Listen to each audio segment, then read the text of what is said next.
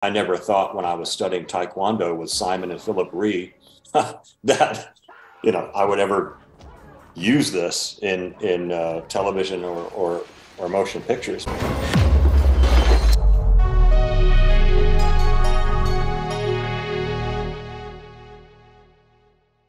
Hey guys, welcome to my full interview with Lorenzo Lamas. We're going to talk about his martial arts history and background, the show Renegade, and so much more. If you want even more Lorenzo after this interview, of course, check out his book, Renegade at Heart. Amazing read, linked in the description below. But before we get into the interview, I want to point out a great supplement company that helped me recently get in the best shape of my life. Check out my Instagram, Real Viking Samurai. You can see some cool pictures and videos of my recent beach vacation. But these products work. Click the link to find out more about 1st Phorm. I highly recommend that. In fact, I can actually help you guys get in the best shape of your lives too check out my new Facebook group. I can even be an advisor, but I want to do it through the app that this company has because it basically gives you all this information. You could calculate your calories, do all this, has great training programs, and I can advise you through it and even help you more. Anyway, click the link, find out more about that, join the Facebook group, and I'm actually going to help Tong Po, Muhammad Qissi, get back into fighting shape and have a potential match against none other than Don the Dragon Wilson. Regardless, it's great for anybody to get in the shape, whether it's me for a vacation, whether it's Muhammad for a potential match against Don Wilson, whether it's you because you want to look amazing on the beach or just in your regular life when you get out of the shower. So, anyway, click the link, check out the supplements. And if you want me to be your advisor, Download the app and choose Viking Samurai as your advisor. I just want to give Jeff Langton a special shout out for setting us up. He, he's connected me with a lot of really cool people that I ended up getting on the channel, like Benny Urquidez, and now I got you. So, oh, that's great. Hey, it, Jeff might be watching this, so I want to give a shout out to you, brother. Thank you for making this happen, and uh, I hope you're well. You look great. I watched uh, your actual interview uh, with David, so uh, that was great to see up there. And thank you for the props. Thanks for all the the, the great you know things that you said about working with me i feel the same way about you jeff you know uh, i'm just talking to jeff right now david. Of course. I feel the same the same way about you buddy. Uh, it was a pleasure to work with you. I would do final impact uh, the revenge in in a second. Tomorrow night man. Neon graveyard. I'll be there. To have you to have you back on uh, on the set with me bro. So god bless you. All right? I mean it. And he's making his comeback. He had just had his open heart uh, surgery, replacing a couple of valves, and you know it was a success. And he's looking and feeling good. So I think he's gonna get back in the whole acting thing. So maybe you guys will do. Uh, he's a warrior. He's a yeah. he's a warrior. So yeah, we all wish him luck. Definitely. And of course, he shared some very interesting things because he worked with all these great martial artists, including yourself. He's a master Aikido guy. And you know how hard that is to master Aikido? Mm. That's what the live live katana. You know, when you put it like an inch from someone's head. You know, that's what he did, and he studied with Japanese people. Plus, Hee Il Cho, Hee Il Cho, he studied with him. Plus, you know, Lorenzo went to a um, a military school. That's where he went to school and he learned how to box. You know, he knew how to wrestle. He knew he knew how to grapple, mm-hmm. which is kind of what I wanted to talk to you about because even though your autobiography is such a great, amazing book, you really don't talk about your martial arts history and training in there. Yeah, that that'll be another book, I think. Uh, oh, you're because, do another one, okay? Because that just just my martial arts training in in itself, I think I could fill a few pages. Uh, you know, it's such a I has have had such a vast experience of different styles and uh, you know different teachers and, and so forth. No, but Renegade at Heart, that book uh, that you're holding there was basically a response to all of the press throughout the years that I'd received, not as an actor, but just as a personality, as a public figure. Mm-hmm. And a lot of times it was really unfavorable. And I didn't respond at the time because I always felt, and my publicist at the time uh, we both felt that to respond to negative press only perpetuates the negative. Mm. Um, you're just going to sound like you know you're you're uh, just upset that somebody wrote something negative about you, and and you're responding, and and that this just feeds the fire. So my my my past response when dealing with anything negative, whether it's press or just people in my life that are negative, I just don't give it energy. I just let it die mm-hmm. like a tennis ball on the other side of the court. Just let it bounce till it stops. Yeah. And nice. so this book was kind of my answer to all the years of things that have been said about me. And nobody ever heard, you know, heard my side, you know, what I ex- actually experienced in, in those different events and, uh, and occurrences. So that's what that, it's a light read. It's not a heavy book. I didn't want it to be like, uh, a book of revenge, you know, that's just not who I am. Mm-hmm. Uh, and so it's a lot about my my parents. The book is a lot about my dad, who was also an actor, well-known actor. My mom act, was an actress as well, and it's kind of growing up a little bit. The book's about growing up in Hollywood, and then you know getting my first break in motion pictures, and uh, which was Grease, by the way, the mm-hmm. first one with yeah. uh, Olivia Newton-John. And, and it was more of a personal book. So the martial arts is gonna I'm going to have to think about that and maybe start writing a treatment for that um, for another book that I might that I might put out because I think, you know, when Jeff and I were doing these movies in the '90s, uh, they were really pumping them out. You know, producers like uh, uh, Rick Pepin and Joe Merhi over at uh, PM Entertainment. Um, you know, they were Golan Globus Mm. They were they were really putting out these uh, high octane action movies, and I feel very fortunate to have been a part of that. Sure. Um, it, it wasn't my my intention starting out in the business was not to be a martial arts star. Mm-hmm. My intention was just to be a good actor. And uh, circumstances sometimes present themselves where you have opportunities to do different things that you didn't really think about, but it seemed to fit. And and uh, that's the case with the martial arts that I did in the movies. I never thought when I was studying Taekwondo with Simon and Phillip Rhee that you know I would ever use this in in uh, television or, or or motion pictures, but uh, the timing was right. Oh yeah, that was the time martial arts just exploded on the scene, especially in the 80s. I mean, I guess Bruce Lee really kind of kicked it mainstream with Enter the Dragon, of course. Uh, let me ask though, when did you actually start the martial arts training? Right. So I started uh, Taekwondo at an old Chuck Norris studio in Los Angeles on Wilshire Boulevard in La Jolla, and uh, it had just it had just been taken over by Jun Chong, mm-hmm. um, Korean master sensei, uh, and Jun Mr. Chong uh, had two instructors, two two main, well, three actually, that that were helping him to uh, teach, and it was uh, Philip and Simon Rhee. Oh wow, yeah, okay. Of course, they're legendary from Best of the Best series. And Ken Nagayama, mm. and and Philip and Simon. This was before, you know, Best of the Best. It, it was before all of their you know martial arts uh, motion pictures that they've produced and starred in. Of course, you know now they're they're legendary martial arts uh, uh, celebrities in their own right.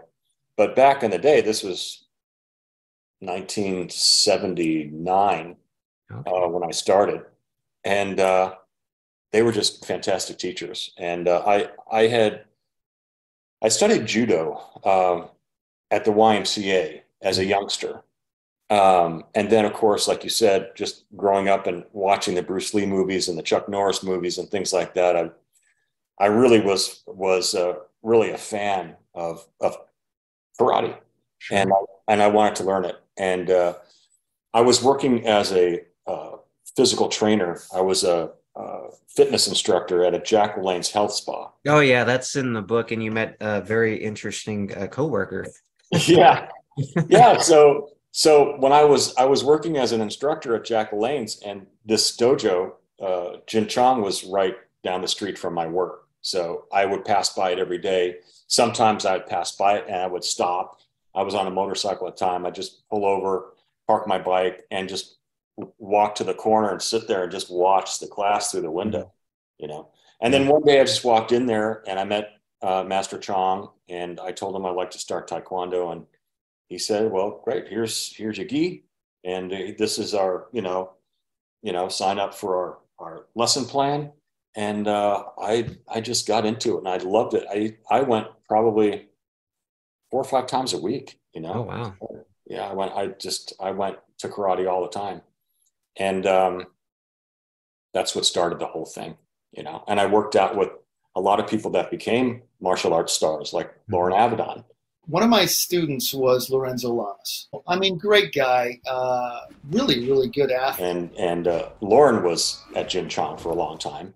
So was Sam Jones, Flash Gordon. He was oh, at wow. Jin Chong. Yeah, all kinds of stars over there. Yeah. I, I do want to ask you something about Loren Avedon because somebody had mentioned this. I guess he was in an interview not that long ago and you guys were doing some self-defense video and you you might have broke his nose or something he took my nose and he put it over here and you know broke my orbital bone here and whatever else and you know my eye was you know messed up right so yeah that was really that i i have to say that i still feel horrible about that that that happened uh you know it was a zig when it should have been a zag and we were really close. Uh, you know, we had been uh, practicing the techniques, you know, before they rolled the camera a lot of times.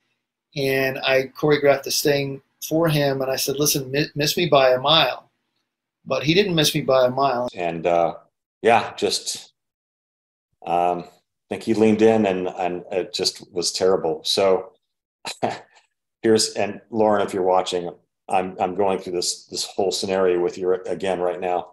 So I yeah, it was a roundhouse kick, and oh. uh, and I got him right in the bridge of the nose with my shin, Ooh. and um, immediately like swelling started. I didn't get knocked out. I'm very proud of the fact that I didn't lose consciousness. and Mike Irwin was producing this for us. Mike Irwin was also a black belt through Jin Chong. Oh wow! and Mike Mike Irwin produced this movie or not movie self defense video, mm-hmm. uh, uh, and and so Mike came running out immediately, you know, from behind the the monitor, and he says, Lauren, Loren, are you okay?" And I go, I go, Mike, I think I, I, we made contact. I think I I I hurt Loren. and Loren goes, "You broke my nose, dude." so Lorenzo called me after he busted my nose to go back to him uh, and said, and he was crying. He's like, oh, I'm so sorry. I'm like, dude, just buy me some flowers, come and visit me or something like that. No problem. He never did any of that. So I sued him. Um, what happened was I was really good friends with Steven Hoefflin. Steven Hoefflin was uh, the number one plastic surgeon in Los Angeles. Okay. Uh, during the uh, the late '80s, uh, and and uh, uh, he I used to go watch him do magic at the Magic Castle, so I knew him uh, through the Magic Castle, and I also I, I, had his number. I mean, I I was a personal friend of his, so I called him right away. I think he met Loren in his office, and uh, we took care of whatever it was. I needed to have my nose put back that you know i mean between my friendship with stephen and and uh, and the hospital whatever bills you know we took care of it but i've never i never hit anybody since before or after that in all the movies that i've done all the fight scenes that i choreographed on renegade all my movies never happened again so again Loren, i'm so sorry that it happened to you bro uh, and I but, and I think all the actors, he's a he's a handsome he's a handsome devil. So I can't say that I ruined anything. no, he's fine. I needed to have my nose put back. Um, so I guess all the actors and stuntmen you work with have to thank Loren because I'm sure that experience and accident was like, okay, I got to make sure I'm like extra extra cautious because I don't want to break another dude's nose. Yeah, maybe maybe maybe so. I mean, like Jeff said in your interview, he said, yeah. you know, of all the rehearsals that we did for that big fight in the neon graveyard, I never come close to hitting anybody. The guy would never hit you. You never had to think negative, like, oh, this guy's going to hit me. Have to worry about hitting me. He was always on mark. The guy, like when we did that fight scene in the graveyard, he was there a couple hours before marking it all out. I didn't even know that. Oh. You know, so he he he takes that seriously. I'm always this far away from contact, you know. you have to be close. Yeah. But sure. in some shots, you can be like a foot away from from the person. It depends on where you put the camera, right? Mm-hmm. Um, but yeah, on on Renegade and Air America and all the movies that I've done, uh, the most contact is like a light tap, you know, just to the to the to the stomach or something like that. If I'm selling a kick, yeah, sure, that's it. You know, and I've I've gotten a lot of compliments over the years about the control that I had. Um, uh, just yeah, the thing with Loren is really like, man, it it eats me up inside. It really does. Yeah, well, I'm sorry to bring it up if that kind of brought you back there, but I needed to have my nose put back. It was interesting. The reason the guy actually wanted me to ask you is because of what Jeff said, how you're, you know, extra safe and, you know, probably the safest person to work with if you're going to fight him on screen. And then this guy's like, well, what about Loren Avedon? I'm like, well, that, that could be an interesting story. I'm kind of curious to hear um, of your side of that. Yeah. But yeah, thanks for sharing. And sorry if that brought up bad memories for you. No, it, it it's important to always emphasize, you know, uh, rehearsal at half speed, mm-hmm. um, or even less sometimes. You know, I mean, because when you when you choreograph a fight scene and you go to start rehearsing it, you know, for timing, um, everybody's tendency, not everybody, but most people's tendency is to speed everything up mm-hmm. because they want to get the technique right, you know, and they want it to look good. But I learned over the years that the technique on camera actually looks better if you consciously try to slow everything down mm. and just sell sell the punch sell the kick you know really sell it yeah um, so you know before uh, like for example on renegade i was working with a lot of stunt stunt people that didn't have a lot of martial arts experience mm-hmm. this was like in the early 90s when i started renegade and there weren't as many martial arts stunt stuntmen and, and women as there are today they were all just starting out. Cynthia Rothrock was just starting out in her movie career mm-hmm. when I started Renegade. So there, there weren't a lot of trained martial arts that do stunts. So I was working with a lot of cowboys, a lot of guys that knew how to throw a wide John Wayne punch, you know, and fall off a horse. Yeah. You know? So I had to teach them how to go with the technique, you know. If I trapped an arm and put it in an arm bar, I had to tell them like we're just going to do this really slow. Just go with the technique. Don't try to resist it. Because that's when people can get hurt when they try to resist a technique. Like you have a wrist lock on somebody, they tense up. When you put it on them, it's going to hurt. Versus if it's like when you're in class, you know, and you're doing, you're doing, you know, uh, just uh, one step punching your skills, right? Mm-hmm. You go with it. You go with the wrist lock. You go with the arm bar. You you know, you get thrown, you relax when you're being thrown, you know, you hit the mat to break your fall. Things like that weren't really understood. So I found myself a lot of the time kind of teaching people how how to take falls and how to, you know, sell, you know, a palm heel to the nose, you know. So it was an interesting period of time. And I think I really, really can say that I enjoyed the golden age of like, if you want to say like action movies, you know. Um, yeah, you were a big part of it. That that's basically what my channel is about. If you haven't noticed from the background, and the reason why I interviewed Jeff Langton, and of course why I really wanted to interview you, is because uh, I gotta say, when I was growing up, you know, I obviously had my influences like Stallone, uh, Van Damme.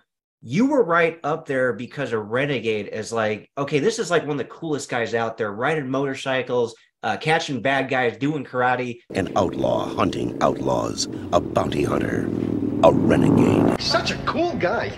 So literally, I wanted to be a bounty hunter when I grew up because of your show.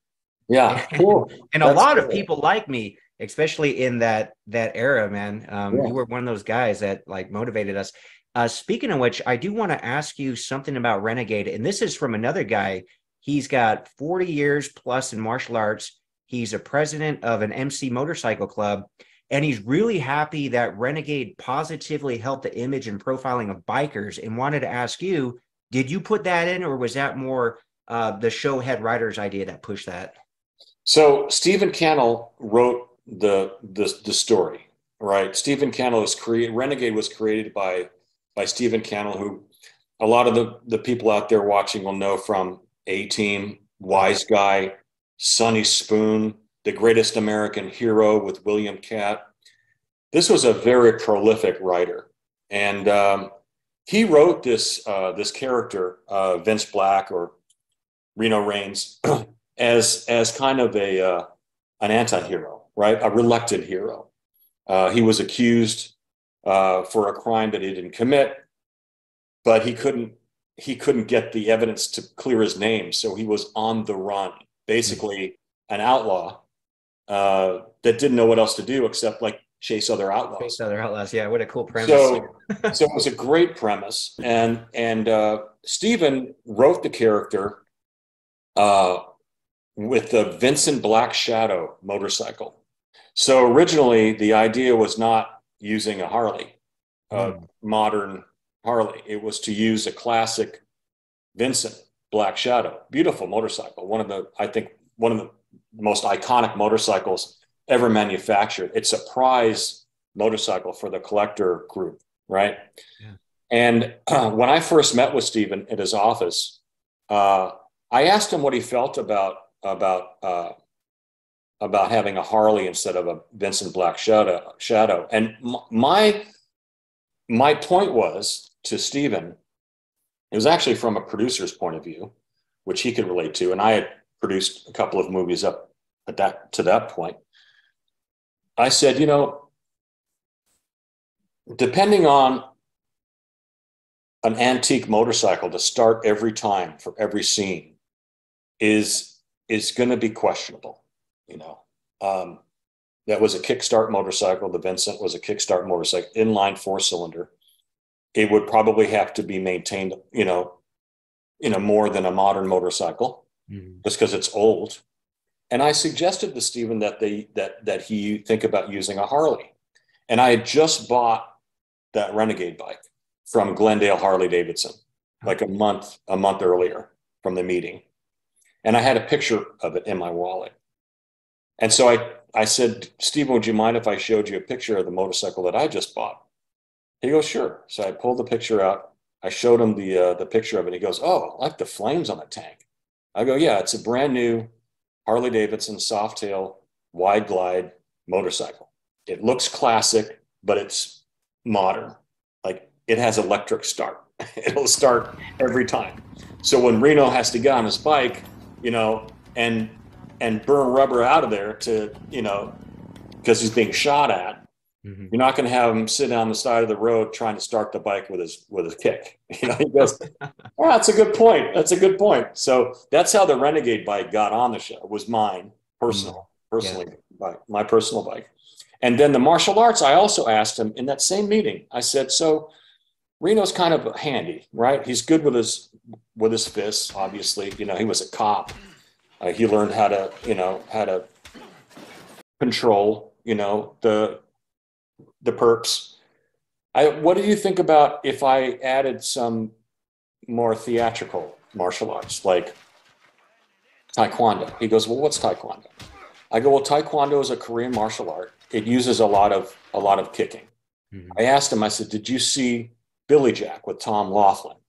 He goes, oh yeah, yeah, I saw Billy Jack. I love that movie. I said, okay, well that's Hapkido. Hop Kido and Taekwondo, very similar. Um, same kinds of kicks. He goes, Oh, you mean those wheel kicks? I go, Yeah. He goes, You do that? I go, Yeah. I've been training since like four years at that time mm-hmm. uh, in martial arts. Oh, no, wait. This, this oh, was, more than that. This yeah, was 90. This was 91. I met with Stephen. So, yeah, 11 years, 12 years. Yeah, you, have been doing it for a so, while. So he goes, Yeah, I think that would be that would be pretty cool. I go, Great. So in that meeting, we basically formed the the foundation for the character, right? Um, my hair wasn't that long at that point. Um, it was like just below the collar, maybe. He said, What do you think about letting your hair grow out? I said, That's fine. I don't mind. He goes, Yeah, I see that. Long hair, Harley, karate. Yeah. So, what would you have a like a what kind of firearm would you have? Would you have a, a pistol or would you have like, I go, No. I said, Reno'd have a shotgun.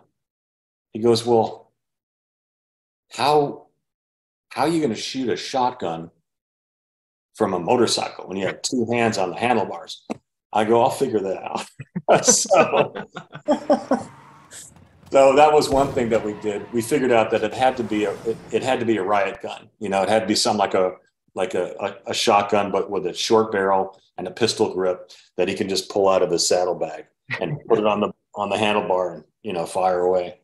So that was the basic of basis of the uh, the character it's so cool because basically you got that's like the perfect role for you because you got to have your two passions of motorcycles despite your dad really not liking you ride motorcycles and then your your martial arts in that character is so cool and so memorable a lot of people still watch that show uh, now and I've, I've been catching up on a few episodes on youtube people posted like entire episodes on youtube i recently watched the uh the muscle beach one with Cory Everson that was really yeah. cool and I, I do want to ask you about another episode. There's an Aikido Aikido themed episode called Black Wind, and they yeah. wanted to know how that came about because you, you guys pretty much devoted an entire episode to Aikido. Yeah, Rick Oki uh, was one of our writing producers on the show, and that was his script. He wrote uh, Black Wind, and I had trained in Aikido. Well, so my martial arts background is varied. Okay, um, I started in Taekwondo.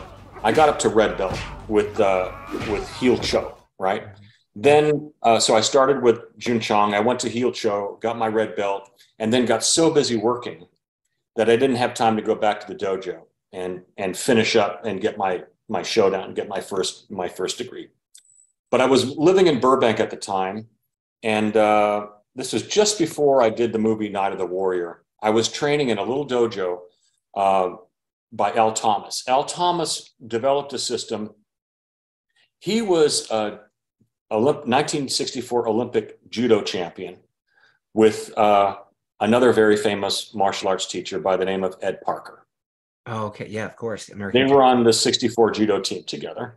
Mm-hmm. And Ed Parker and Al Thomas, when they when they started their martial arts schools, Ed went Kenpo, and Al Thomas developed his own system called Budo Jiu-Jitsu, which was a combination of karate, you know, American, more Shotokan style. Mm-hmm. Kicks weren't very high, no spinning kicks, no spinning kicks, mostly a Shotokan style, right? Front kick, side kick, back kick, basics, right?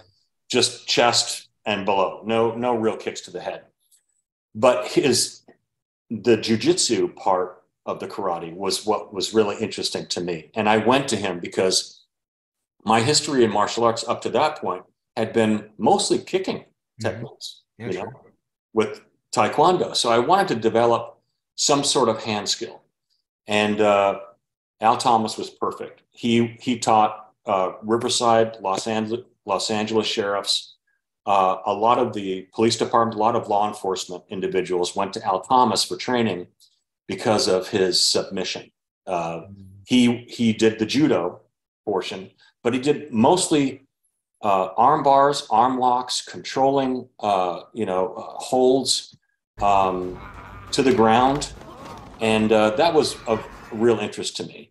So I did that um, for a year. I got a black belt through Al, through Sensei Thomas. And then I moved to Los Feliz. I bought a house in Los Feliz, and there was an Aikido dojo like two blocks down. So I wanted to, to do that too. So I studied Aikido. I never got a belt in Aikido, but I trained there for probably a year or so. And just, you know, when I could, I would just yeah, sure. Jump in the car and go down and get a class in. And uh, that really kind of brought me back to my judo training as, as a, as a boy, right? Because, you know, you're just doing, you're doing the falls again, you're doing the rolls again, you're doing, you know, throws again, you know, the throws that I learned in judo were very similar to Aikido and i just found it was a very well-rounded you know education that i was giving myself with all these different disciplines in martial arts. So when i got the script for black wind i basically choreographed most of the martial arts fights you know. Uh, rick um, rick avery came down and choreographed a fight with me and marshall teague. I think it was the second or third episode of renegade first season. But that was really the last time we used a professional stunt coordinator for these fights. I did all the other, I did them all. all, all the other ones after that because they didn't hmm. want to spend the money. Hmm. I could have used. I mean, I would. It would have been nice to have a you know a martial arts choreographer on staff. You know, so I could bounce ideas off of, and we could really create this great stuff. But Renegade didn't have the budget, so I was the guy. So when Black, when I read Black Wind, I saw this right away as an as as an Aikido story, you know, and how Reno goes back to a sensei that taught him, you know, his martial arts. We know Reno knows Taekwondo. We've seen it in, you know, 50 episodes.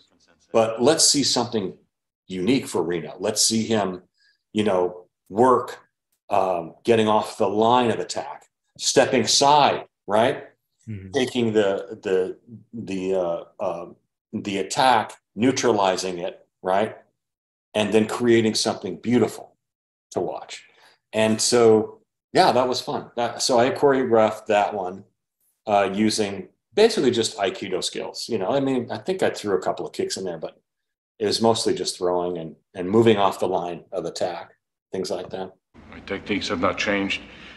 They've been expanded from beyond Shotokan to Aikido, blending with the attacker's energy to deflect it. Yeah, that's really cool. Uh, there were a lot of really great episodes. I, I know that you had that two-parter, uh, the cage fight against Martin, yeah.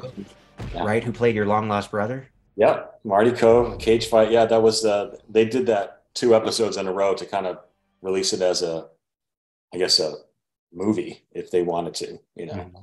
I think they sold it in video. Uh, they sold it at Blockbuster. I know as a as a feature. Oh, interesting. Yeah, there's just part one and part two. Yeah. Oh, okay. Because they did that twice. They did it with Cage Fight, and they did it uh, another time with two other episodes. I think. Um, uh, gosh, um, who else was in that? I forget, but they did another two-parter uh, before as well.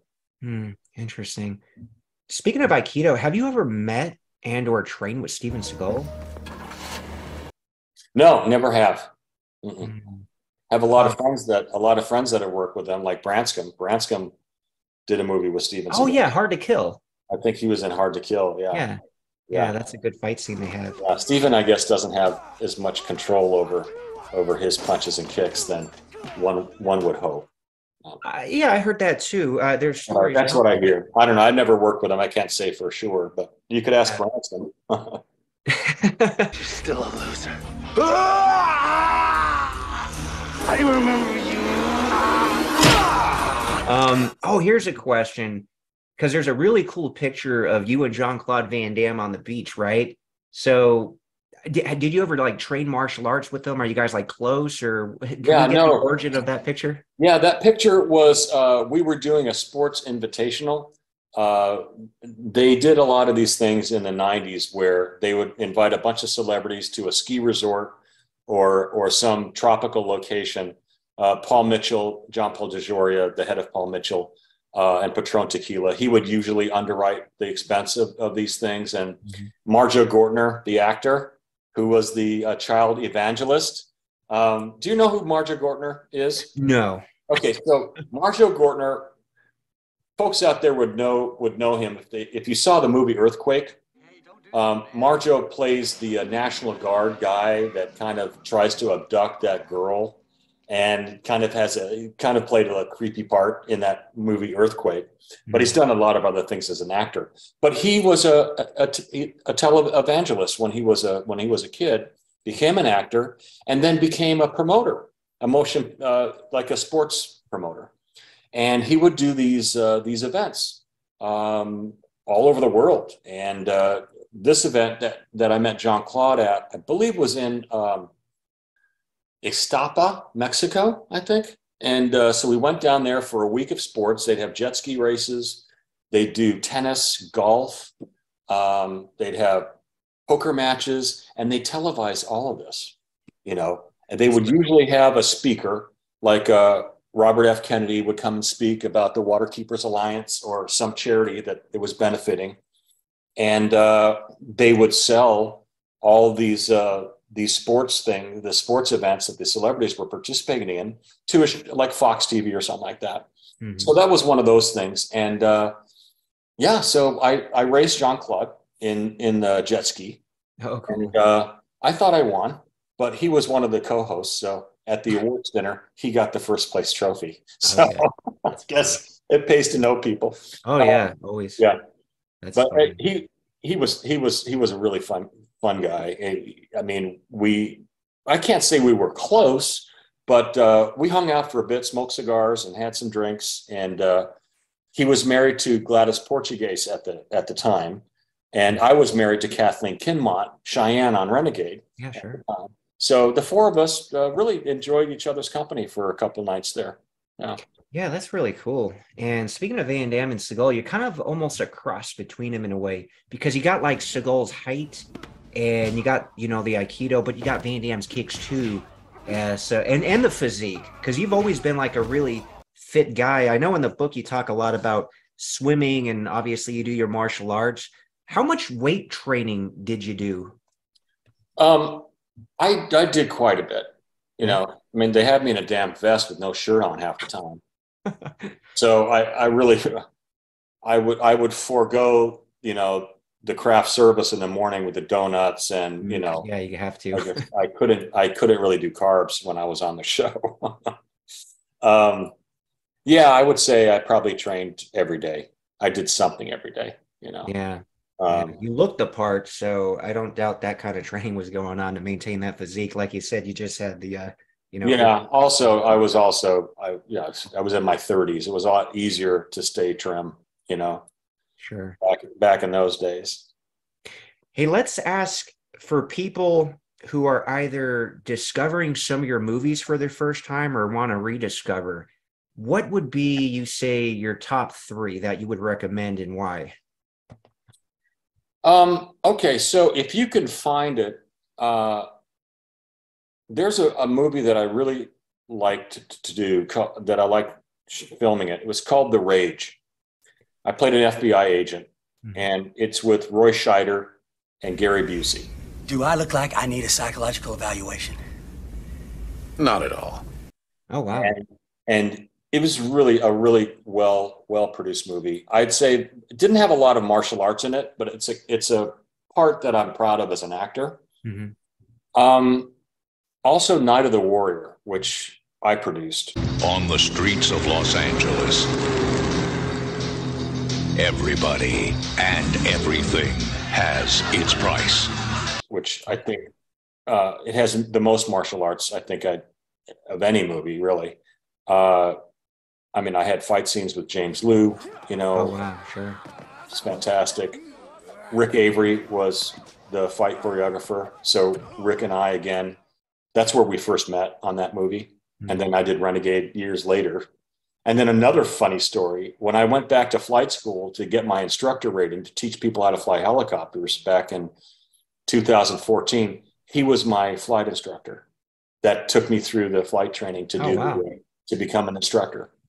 So that was that was just Rick Avery and I have this uh, you know this this great friendship that goes through aviation, martial arts, and movies and television.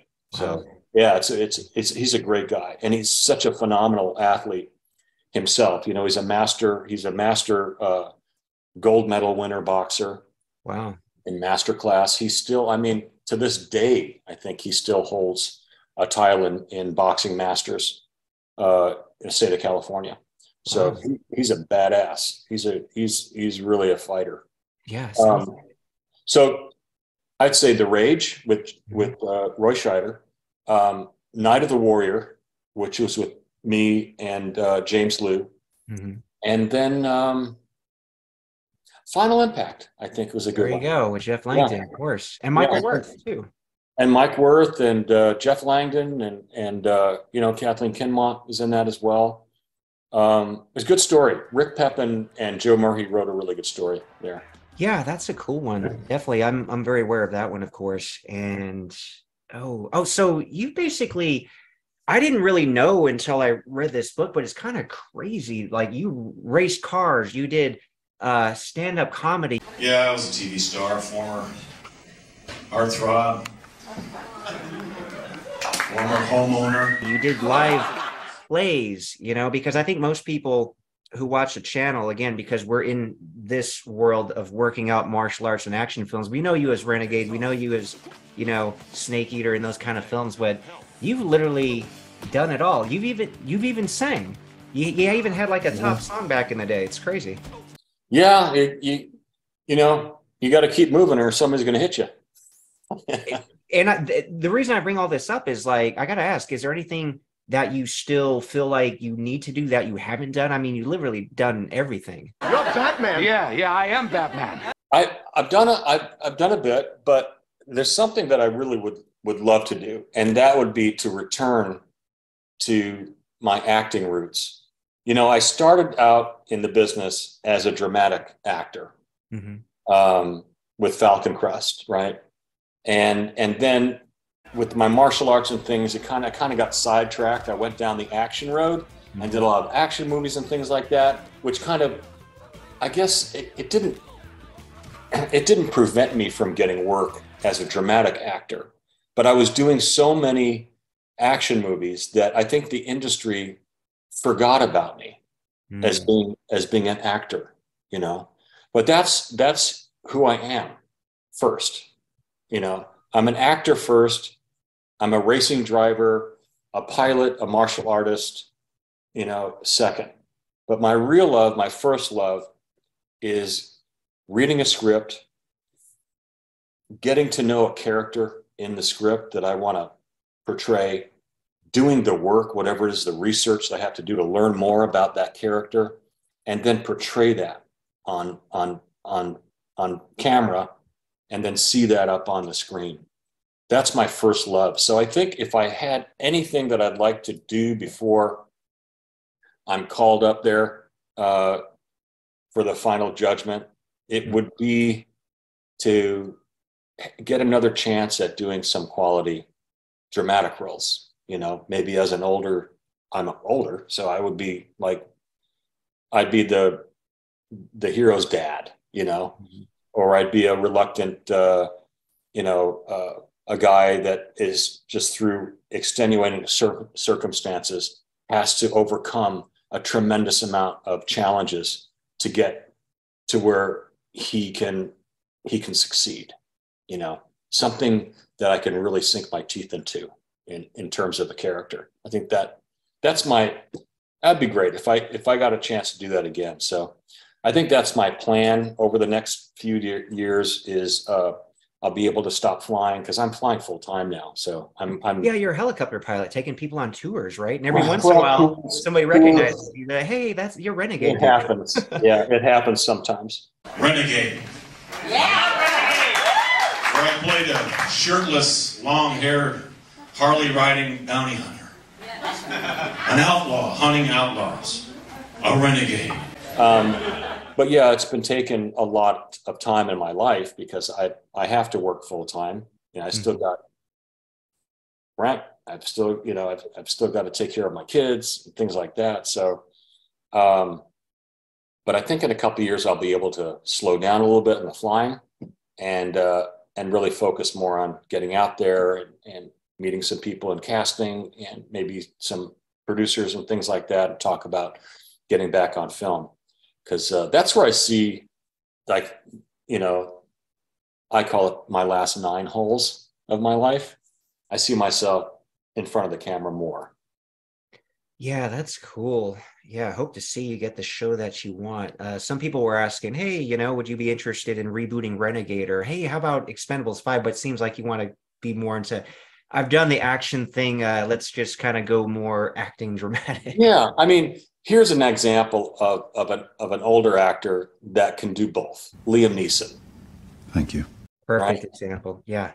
He can still kick butt when he needs to kick butt, but his character is always weighted in in the reality of a good script. Mm-hmm. You know, so it's not just he don't, we, we don't see Liam Neeson just doing action movies just to kick ass. His character is rooted in, in in truth. You know, there's some truth of what his character is going through. That's all I'm saying. Yeah, that'd be perfect. That would be perfect. And just one last thing, because you've experienced so much, and you do share quite quite a bit in this book. Again, I recommend that to anybody watching this. Uh, can you share like the top three life lessons that you've, you know, you obviously have a lot of wisdom because you have all that experience with so many different things. Oh, wow. Um, I'd have to give that some thought. Um, well, my father told me when when I was younger, I was probably in my 20s, and he said, you know,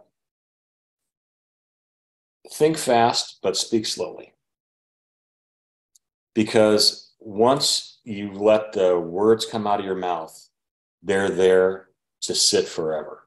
Mm. So choose your words carefully, but always be thinking ahead, you know. So I mean, those are I, I live I try to live by those those those words, you know. And you know, another another good principle that I've learned over time is to, you know, never say anything to anybody that you wouldn't want said about you. Just that's simple. Uh, it just keeps it so simple, you know. Yeah. Before you open your trap to say some stuff about somebody that did you wrong, just sit on that, man. Count to five, because those words again are out there in the universe forever. Mm-hmm. And uh, I do believe that there is karma. I believe in that tremendously. I also believe that there is a, a universal mind that's controlling the world, the universe, all the things that happen, good and bad in our life whether you want to call them God or Allah or whatever it is, it's a universal mind, a power. Mm-hmm. And uh, we can harness that power as long as we have a, a good, positive thought behind it, right? So people say, well, you know, I, I pray at night. I say, okay, well, like, what do you, what do you pray for? Well, I pray that that person that, you know, stole my bike when I was 10 gets run over by a train. I go, okay, that's like you don't want to pray that way, you know. So we want we want to think positive in our life. We want to create positive energy around us because, like the law of attraction, the mm-hmm. more we put out there positively, the more it comes back in the same fashion. You put negative stuff out, you're complaining about things every day of your life to your friends. That negative energy that you're putting out there is like a toxic poison. Big time. It's going to come back. Mm-hmm. So life has taught me that what we put out, we get back. Okay. What we say is there forever. Mm-hmm. And give a person the benefit of the doubt. What is it going to cost to give a person that maybe uh, went against you, like maybe said something bad about you or something like you don't know what this person what that person is going through in life. They could be going through a horrible time. They could have lost a family member. You know, it could have created such uh, turmoil in their in their heart that they weren't really responsible for what they did or what they said. So I tend to give people a lot a lot of the benefit of the doubt, you know, because I want to be treated that way. Oh, of course. Yeah. That's why I'm always so respectful to people in general, because I would appreciate getting that in return and it being reciprocal. But that's always my default. I'm always going to be nice. I'm always going to be respectful and then obviously everybody has their um you know level of okay uh this guy is just not my kind of guy i want you to be nice we have we have a few everybody has a fuse. Yeah fuse sure. Right? so just let it let it burn. Let it we, there's a lot left. Just let it burn. Burn okay three times four times okay he messed he messed around with me twice. Okay that's enough. You know? Until it's time to not be nice. But I tend to have a, a, longer fuse than most people, you know, and and I think that it doesn't hurt. Doesn't nobody's going to call you a wimp or weak because you give a person a second, third, fourth chance, you know, in in doing what's right. Yeah. Yeah. Great way to live. Just uh, mental health is going to be way better. I could tell you're a happy, optimistic guy. Just talking to you, spend this, uh, you know, 45 minutes or so. Yeah. And I really appreciate, and I know the audience will, the whole interview, but especially that message and wisdom. So, yes, everybody needs to watch that multiple times and hopefully live like you do. Well, I don't, I, I don't know anything.